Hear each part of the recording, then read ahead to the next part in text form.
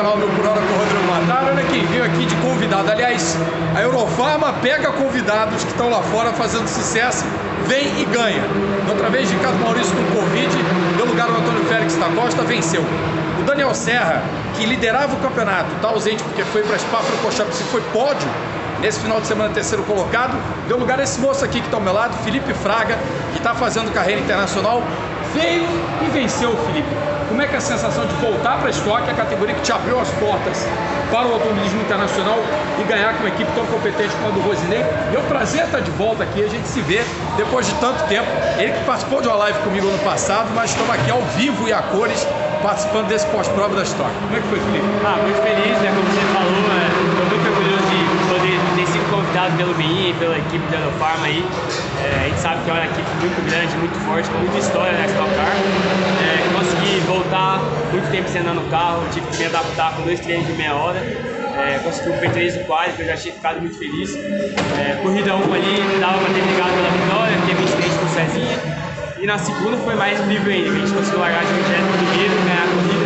A gente sabe que é muito difícil lá dentro de estoque, mas o carro estava impecável, os toques da equipe foram perfeitos. Acho que eu também executei bem e muito feliz de ter vencido Interlagos depois de tanto tempo na estoque. Me diverti demais, revi os amigos, revi todo mundo. Agora é colocar todas as energias aí na temporada do DTM Isso. Pois é, esse ano do Felipe está sendo muito movimentado, para quem não sabe, ele está correndo no IMSA Weathertech Sports Car Championship com o protótipo LMP3 e está no DTM também, e ganhando corrida, representando aqui ó, a Red Bull, a F-Boss. Aliás, essa história de F-Boss, Ferrari, tem alguma perspectiva de você de repente ser lembrado para aquele projeto Hypercar para 23, Felipe, ou ainda é cedo para projetar isso? Ah, eu acho que é difícil ainda para 2023, é, eu não tenho nada com a Ferrari, esse negócio é com a Red Bull no momento, é, mas tem chance de alguma coisa de LMDH pelo meio, estou trabalhando muito para isso, é o que eu mais quero, é, mas a gente sabe que não é fácil, mas é isso, acho que continuar focado, vencendo corridas, vindo na Stock, no TTM, aonde for, e torcer para essas portas irem se abrindo e a gente vai estar pronto para agarrar. E pra gente fechar, já que o Felipe tem um voo, ele tem que sair direto lá pro Tocantins, né, que é a terra dele, bem que é só no Pará, né, mas ali tá tudo em casa, né, no norte do, do, norte do Brasil. Ô Felipe, é, como é que tá sendo para você lidar com essa situação de vir um protótipo P3 e pro, pro DTM?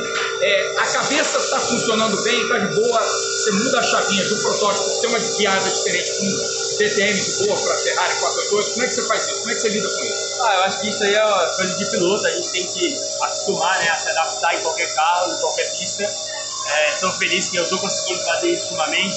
Venci, agora é minha terceira vitória seguida, eu fiz uma vitória no IMSA, no Austin Glen. Venci DTM Norris Ring e venci Stock. Então, tá, tô feliz de ter conseguido vencer três corridas em três carros diferentes. A gente sabe que não é fácil, mas por enquanto tá dando certo, eu tô muito feliz com essa performance. E qual a próxima que a gente vai poder te ver ao vivo? É Road América? Na verdade, eu tô indo para os Estados Unidos agora, que é Road America essa semana. Então assista aí, eu, Lake, ao vivo no site da IMSA. Vamos ver se o Felipe Braga emplaca a quarta vitória consecutiva com três carros diferentes. Esse é fera. E a gente se vê mais uma vez no canal Meu Por Hora com Rodrigo Matar, sempre. Vamos ver se o Felipe volta para uma live mais no fim do ano, para a gente falar de 2022, projetar 23. É uma carreira brilhante desse menino aqui que, ó, acelera de montão. Obrigado. A gente se vê. Um abraço.